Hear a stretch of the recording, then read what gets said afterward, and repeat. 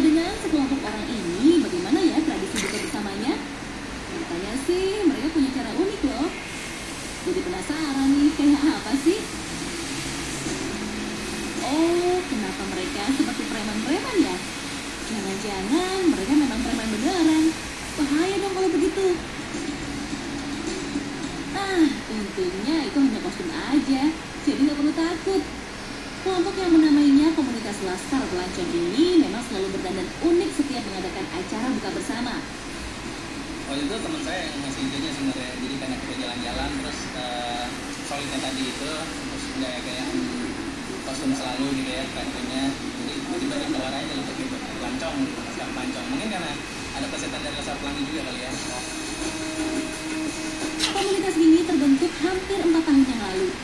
Awalnya mereka adalah sekelompok orang yang hobi traveling dan selalu menggunakan kostum sesuai tema travelingnya. Dan buka bersama kali ini temanya preman insaf.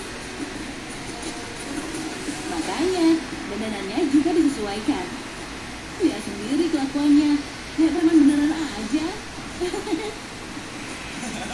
ya tapi yang penting sih kita ngobrol tuh karena uh, sekarang hobi ya foto-foto terus memang kalau misalnya kayak gini-gini ada baiknya bakso sih nah, kemarin sih kita gitu aja sih Mau tahu nggak nih? Ternyata mereka tidak hanya berkostum kalau sedang traveling atau buka bersama aja. Tapi di pesta pernikahan, mereka juga selalu berkostum loh. Wah, wah, wah. Kayaknya urat malu mereka udah pada putus nih. Dan menjelang maghrib, mereka langsung menuju ke salah satu resto untuk buka bersama. Eh, tapi tunggu dulu. Mereka tidak langsung pesan makan loh, karena masih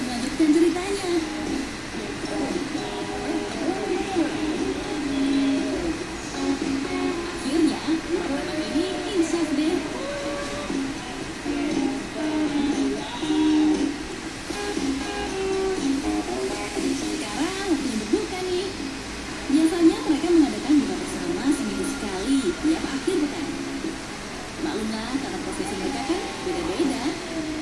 Tidak hanya orang dewasa yang suka melakukan buka bersama, anak-anak pun banyak yang suka dan dengan cara yang berbeda pula. Mau tahu selengkapnya? Stay tune terus di Warna ya.